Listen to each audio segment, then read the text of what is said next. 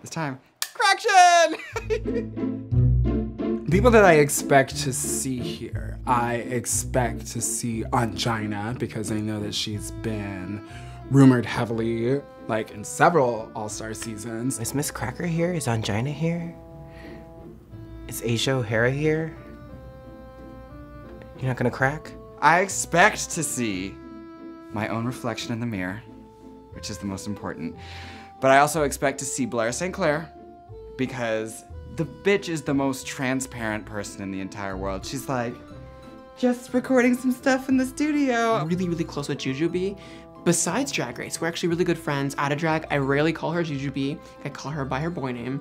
So I've heard some rumors that she may be here too, and uh, it would be n- great to also have another good friend here. I know she's not here, but it would be so great if Raven were here. I know she's not here. She has to do Ru's makeup. Womp womp. I expect to see Nina West just because she was such a fan favorite um, this past season. Um, I don't know if it's too soon for her, but um, would love to see her. Would love to see um, Miz Cracker. She's a fun one. I expect to see Shea Coulee because everyone in the entire world demands it. And Shea Coulee is an excellent poker player. You would never guess from her, but um, she's also one of the greatest drag queens in America. And she needs to be here. And if you want to be in the top four, you should expect to be in the top four with Shea Coulee. She can sing. I went to her one woman show to check. I was like, the sh- I really think and hope Miz Cracker will be here because we were such good friends in season 10. Uh, and I, I'm really hoping that she's here because I think we could be great companions to one another. Is there anyone I don't want to see here? Monet could leave me alone for five minutes.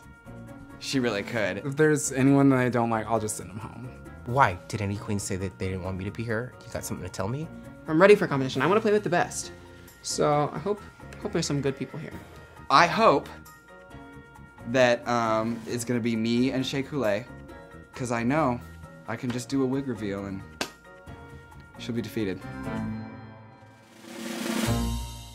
Do you want everything RuPaul's Drag Race at your fingertips? Then head over to YouTube now and subscribe to the RuPaul's Drag Race channel, and you will get all the episodes of everything you ever want, including brand new episodes of What You Packin'. Hi.